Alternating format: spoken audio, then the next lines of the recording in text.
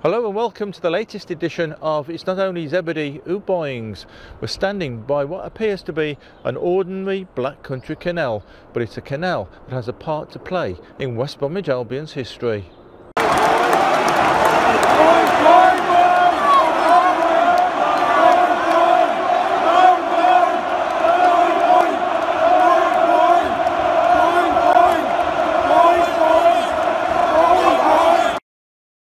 This was West Bromwich Albion's training ground, and one day in January 1964, manager Jimmy Hagan got into his car and it shot straight through the fence onto the canal bank where it careered downwards, somersaulting as it did so, ending up in the canal.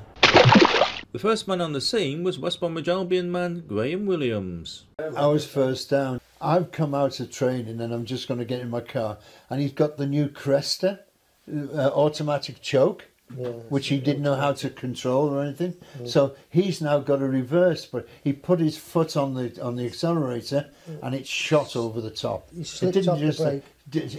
straight over the top and he's rolled over and over. He was lucky the car went uh, face up, like up, upright. wheels in. No, he slipped and went wheels in. Yeah, and he was lucky because otherwise he could have come through drowned. the windscreen. and all his paperwork was floating on the canal at Spring Road I've I've run down and he's just getting out and he's lying on the bonnet. and his neck in it. He's he's done his bonnet. So we've got sent for the medical. So he's had to lie there first of all because we couldn't get uh, we couldn't get him up. So we've got a stretcher from the from Spring Road. We've gone down and the medical men have come down and said, "How are we going to get him? We can't get we can't carry him up there." So we've decided uh, we'll all go uh, aside and- lift him and carry him above our heads. And he he said, "This is when Mickey's there." He said. The trouble with you lads, you're not bloody fit. Fit, yeah. And he shouted out to us, he says, Tell Alec Jackson and Mickey Fudge to drop her in the reserves tomorrow. and Jack, I can remember Alec around and said, Give me a five each, lads, I'll go down and I'll drown him. He said, Alec Jackson He said you're not fit. And used to run every day, didn't we, for turn 10 to nobody said a word, you know. They'd just gone and just looked at each other. Who's going to throw him back in? Yeah, I can remember Who's gonna throw him back in?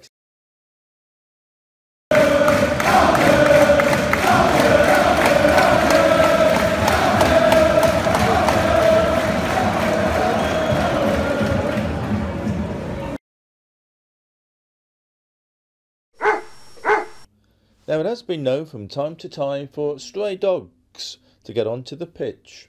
Now, one such incident was in November 1976, and it's well remembered by Albion fans because it helped David Cross score on his debut at the Hawthorns. Now, one man who has memories of it for obvious reasons was Kevin Candon, the assistant groundsman at the time. Uh, the dog had got on the pitch earlier um, during a warm up. Uh, we got the dog off, and I got the dog and put it into the groundsman's hut at the back. And the match had kicked off and was going on. And all of a sudden, I felt sorry for this dog, being crying in, in the hut. So I thought, well, all the gates are locked. I'll just chuck him out and give the dog a good talking to and told him, don't come back in. Before I had even got back to my seat, it was back in the thing on the pitch. Everton bloke had got the ball. The dog ran up to him and somehow he must have got scared of the dog. David Cross took the ball up and put the ball in the net. The dog actually followed the ball into the back of the net. You take a bit of ribbon? Oh, a lot. And I have done from that day to this. It's, uh, it's like hounded me. Now it's exactly 12 months since a new tram was unveiled on the Midland Metro network. It was named after Cyrille Regis and I went along to the unveiling.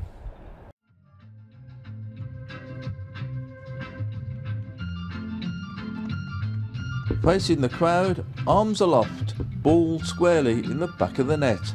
That's how West Midlands football fans remember Cyrille Regis. And now that iconic image has been captured on the side of a West Midlands Metro tram, which was unveiled in front of his family and friends. I think that image really epitomises Cyrille you know, that celebration, that arm stretched out, you know, reaching out to love his family. Um, you know, it, for me, it epitomises his faith um, as well. I just think the image represents Cyrille really well. I still can't fathom it all, to be honest with you. Like, he still feels like he's still here, like I'm waiting for his phone call. Do you know, I mean, his presence is forever felt. What do you think you would have felt about knowing there's a tram going to be named? Oh, he'd be chuffed. Oh, he'd be so happy. He would be smiling. He'd be very humble about it, obviously, but just knowing there's a tram going from what going to West Brom in itself, from him being you know a humble guy and humble beginnings, it's a it's a big deal. It's not something to take lightly. Gentlemen, you're about to board the uh, Cyrille Regis MBE tram. How does that feel, Brendan? Well, it's a real um, proud moment, not just for uh, for us, but obviously for his family, and also it represents all the supporters um, who will be travelling on this tram, seeing Cyrille's name, but also that typical pose of Cyrille um, after he scored a goal. So it's, uh, his name uh, lives on. Right after the event, the tram went into service, travelling between Birmingham, West Bromwich, and Wolverhampton, all places where the name Cyrille Regis is well known.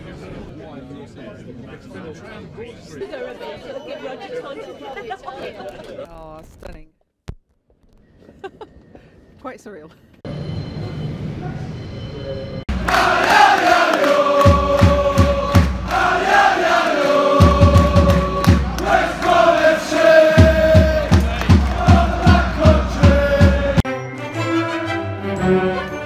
In the fierce winter of January 1982, numerous games were called off, so the then excellent local sports paper, the Sports Argus, arranged for the Sports Argus Arctic Cup, and it was played between West Bromwich Albion and Birmingham City in Guernsey.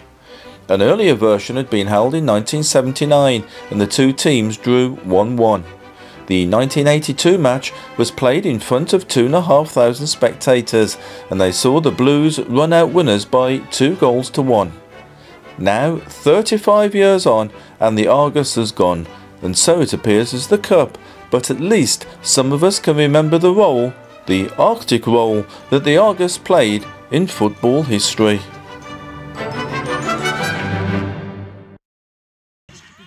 Now, to end the programme today, we're returning to Slovakia, where, as regular viewers will know, we recently met up with Igor Balis, the man who scored the vital penalty that more or less assured West Brom would get promotion to the Premiership back in 2002.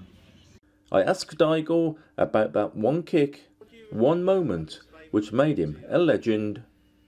Čo si pamätám, hlavne keby mi v ten moment zmerali tlak, ako keď som išiel kopať, my sme tam kopali penaltu, neviem, či po troch mesiacoch alebo nejaký tak a, a bol som určený na on, tak no, hoci čo mi prebiehalo v hlave, že či tú penaltu dám, keď ju nedám, či pojem skôr domov alebo nepojem domov. Takým štýlom, neviem, jak by som to asi povedal. So Igor said that it was like a first penalty after three months. They, and he was the one who who had to take it, and he had different kind of emotion in, in him. So it was really difficult. He, he, he's, he was thinking like if i miss will i go home earlier? Or you know because it was a big moment. So it was really tough. Igor and his family entertained the fans who made up our group when we visited him. Raise your glasses to Igor, Adriana, family. Igor and family. Boris, Dennis and Boy, boy,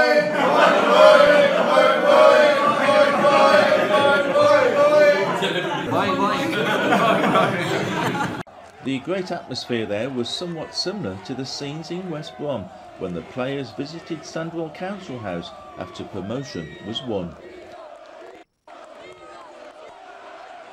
Inside the council house, one of the young fans with Igor's promotion medal was none other than one of Igor's sons.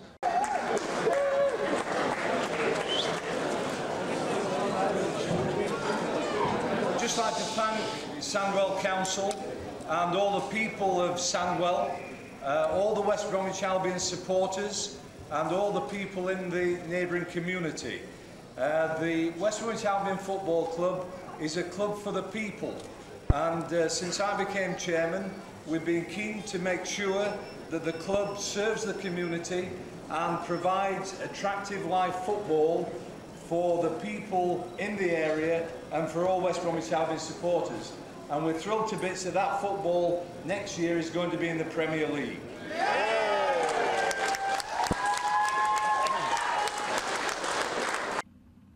No doubt many fans have got memorabilia and news cuttings about that famous day in Bradford. I caught up recently with reporter Chris Lepowski. Um, it's quite strange because at the at that point I was still working for the Sports Argus on Saturday games and um, the, the Sports Argus, the match reports tended to, you had to more or less have them complete with about 10-15 minutes of the game left. Um, so when, that, when that penalty was awarded, um, uh, the, the euphoria was all mine about having to change everything I'd written and change the context of everything. And during that lull where um, Bob Taylor was getting treatment, I actually wrote two intros.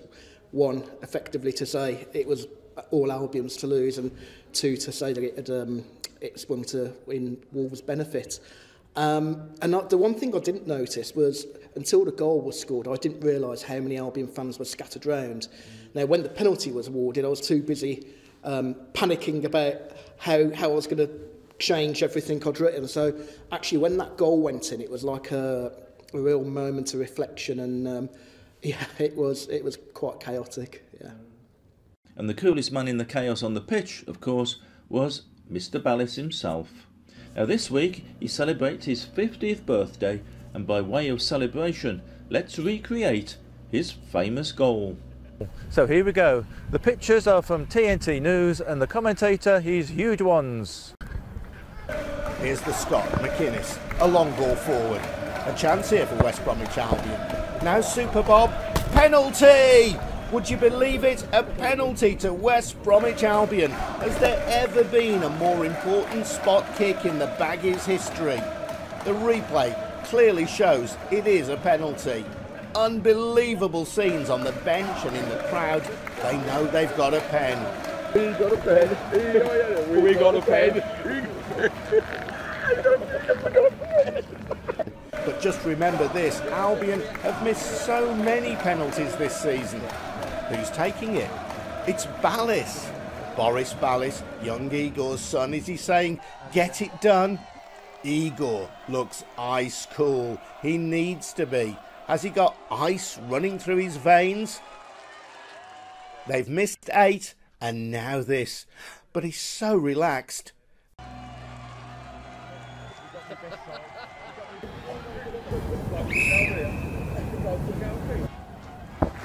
Balis! Oh, what scenes we've got here. The Albion fans are going barmy. They've every right to go mad. Here's the replay. He took it so well. Straight into the corner. Megson just trying to calm everyone down. Oh, what scenes we've got here, though. The Palace Scouts know they're in for a game next week. If Albion win, they'll be in the top flight for the first time since Sky invented football. So there we are, Igor Balis there. So some memories, folks, of uh, Igor? Fantastic memories. Just the fact that we were with Whitey 16 years to get into Premier League and it come down to last but one game of the season and well we couldn't believe it so we just wait you know what I mean beat the Wolves as well or we we're going to beat the Wolves to the to the Premier League I heard the story of the, the day he joined he actually marched from the Moathouse Hotel to the stadium with his boots in a brown carrier a brown paper bag. You know he really was the last of an era before the money came in before the the um, Premier League really arrived for West Brom. And you know, to hear him speak so warmly about people he met, about the fans, about the stadium, even about Gary Megson, um, was a, a quite a thing. And, you know, um, he will forever be that, that man who, who effectively won promotion for Albion. That's about it for this programme then. So from the Presidential Palace in Slovakia, it's goodbye and thanks for watching. Ego! Ego! Ego! Ego! Ego!